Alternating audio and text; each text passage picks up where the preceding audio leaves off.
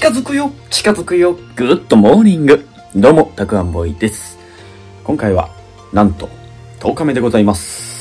早速やっていきたいと思いますけども、先にね、化粧水と乳液つけてしまったので、えー、下地からやっていきたいと思います。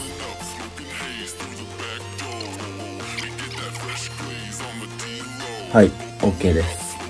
いつもね、先にコンシーラーやってたんですけど、あの、コメントくださった視聴者の方がですね、ファンデーション先にやった後に、コンシーラーやった方が、ノリがいいですよ。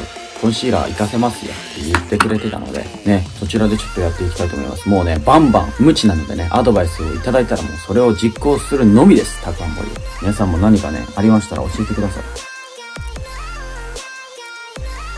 で、次にコンシーラー塗っていきたいと思います。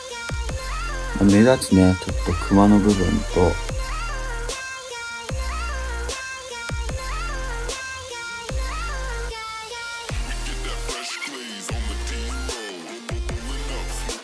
いいんじゃないでしょうか。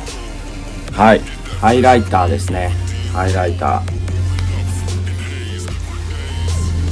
ところにやるんですけど、この鼻の真ん中のあたりはちょっと開けて、てっぺんにスッと塗るそうです。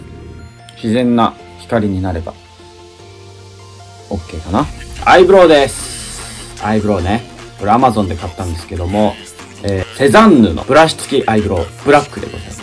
前までブラウンだったので、僕の眉毛が黒いもんですから、合わないなということで、ようやく手に入れました。この黒ですね。あ、めっちゃなんかかっこいいですね、この。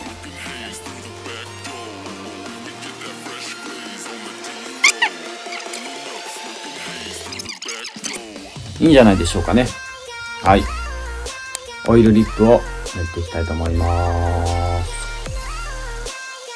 ちょっとリップもね、僕の肌にあんまり合ってないっぽいので、肌というか色合いにちょっとベストなリップをまた探し求めていきたいと思います。アイライナー塗っていきたいと思います。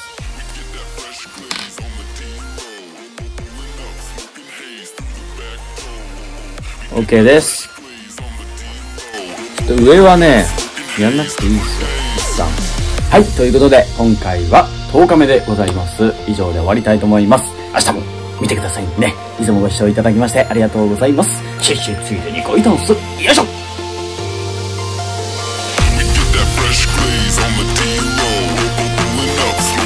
Through the back door, we get that fresh squeeze on the D-roll.